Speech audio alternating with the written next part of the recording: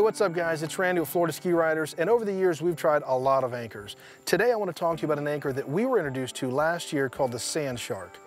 The Sand Shark, they make several different versions. The version we'll talk about today is the PWC version. And let me tell you, when this thing is in the ground, uh, about a foot and a half in the ground, you can actually tie up three to four skis with no problem. This thing is holding on in rough seas, calm seas, doesn't matter where you're at. Uh, easy to break through rock if you're in an area that's kind of rocky. Um, screw this in, the handle, great leverage. You can get this through rock. Uh, if you're visiting an island um, where the you know, beach sand and you guys want to dock, anchor your skis without beaching them, and go explore the island, you can assure yourself when you come back, your skis will still be there.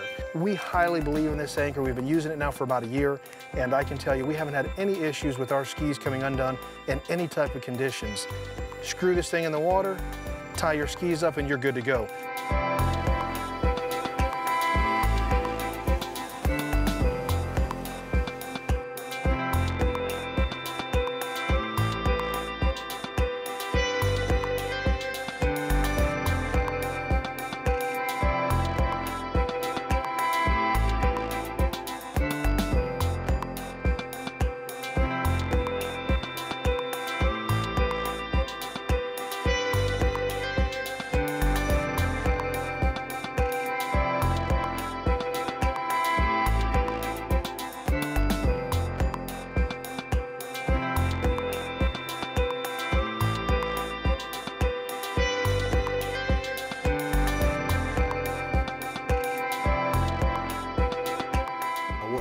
Notice is that the uh, inside spins.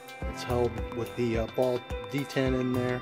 Inside the spring and uh, ball detent inside there holds everything in place so it, when it gets to a position it locks in place. Take the handles, spin it 180 degrees and then you can apply the downward pressure.